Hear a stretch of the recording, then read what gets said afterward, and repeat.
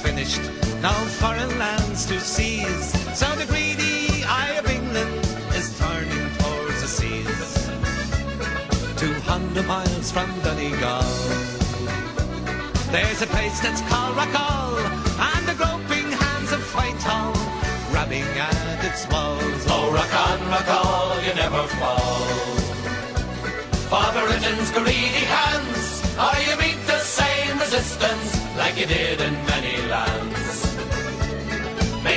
May rise look your eyes, and the water crush your shell, and the natural gas will burn your ass blow you all to hell. This rock is part of Ireland, for it's written in folklore. Finn McCool took a sod of grass, he threw it to the fore. Then he tossed the pebble across the sea.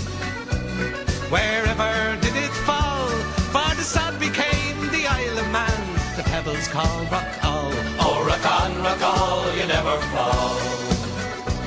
For Britain's greedy hands, or you meet the same resistance like you did in many lands. May the seagulls rise above your eyes, and the water crush your shell,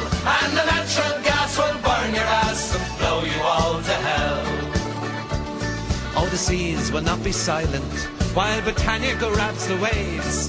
Remember that the Irish will no longer be your slaves. Remember that Britannia well. She rules the waves no more. Keep your hands off Rockall.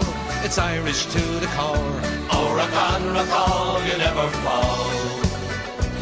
For Britain's greedy hands, or you meet resistance like you did in many lands.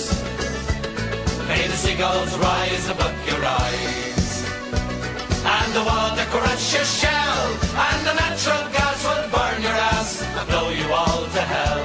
Oh, rock on, Rockall, you never fall. For Britain's greedy hands, or you meet the same resistance like you did in many lands